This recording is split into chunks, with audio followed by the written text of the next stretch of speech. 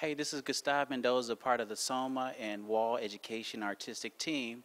Um, here at Modern Salon, I'm doing a summer uh, uh, magazine shoot. And what I want to do is uh, kind of give you some tips of what I did for this model. Uh, I call it the chameleon color technique.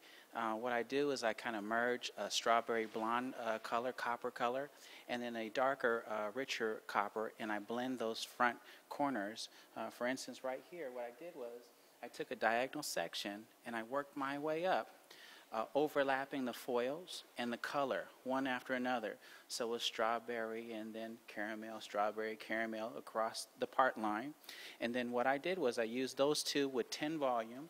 So it was uh, in the Soma line here, what I used is the 8RO strawberry blonde, and then I used the medium copper blonde and that, those were alternating in foils overlapping each other. And then what I did was, it was a cool thing, was I color recycled.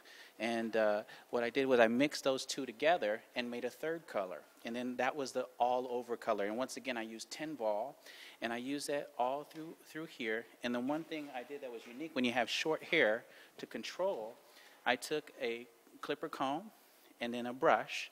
And what I did was I went ahead and just did clipper brush, clipper brush to control.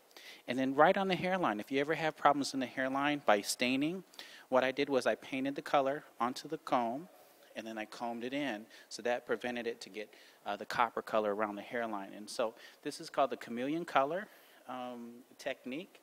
And it's really easy, 10 vol. Uh, it's easy to duplicate on most models. You can do a, a quarter you can do a half on the front and, and actually use triangle shapes going around. You can do just a corner piece in the back if you'd like to.